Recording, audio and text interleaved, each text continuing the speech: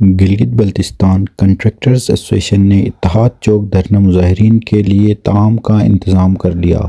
Contractors association के सदर रहमतुल्लाह जनरल सेक्रेटरी शाकिर हुसैन समेत काबीना अरकान ने अपनी मदद आप के तहत गुजशत चार रोज़ से मुसलसल चावल की देगें पकाकर इतिहाद चौक के मुजाहरीन को भिजवा दिया।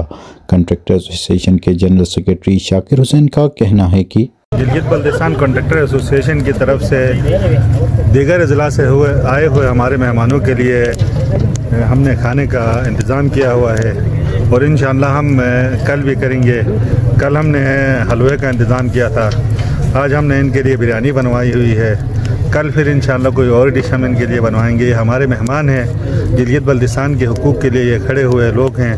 हम इनके साथ भरपूर ताउन में हैं। तो इन हमारी तरफ़ से जो हो सके, हम अपनी तरफ़ से, तमाम ठेकेदार बरदरी की तरफ़ से अपनी बसात के मुताबिक जो हो सके हम इनकी खिदमत के लिए तैयार बैठे हैं इधर।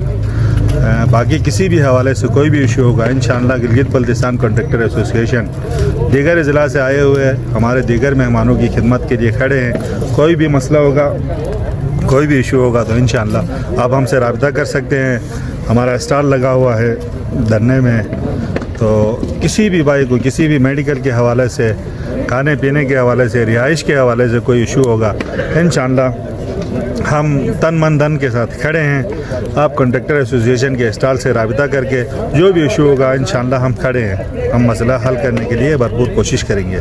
रहमान रहीम हाँ मैं as a political workers People Party आज ठेकेदार बरदरी गिलगित बल्तिस्तान का खसूसी शुक्रिया अदा करता हूँ, जिन्होंने आज तीसरा दिन है। हमारे जो धरने में बैठे हुए दूर दराज इलाकों से जो आए हुए हमारे मेहमान हैं, इनकी इस्तकबाल भी किया और इनके लिए खाने पीने का इंतज़ाम किया। और इसी तरह मोहब्बत हमारी जी भी के आवाम के आपस में होनी चाहिए। इन अपने हकूक़ लेने के लिए हम इससे भी ज़्यादा भरपूर अंदाज में अपने लोगों की इमदाद करेंगे। बिसमीम मैं ज़ुबैर अहमद जई ठेकेदार एसोसिएशन खुशन रहमत भाई, और उसकी पूरी टीम का शुक्रिया अदा करता हूँ। उन्हें हुंदा से और यासिन साई हुए मेहमानों के लिए खाने का अहतमाम किया है।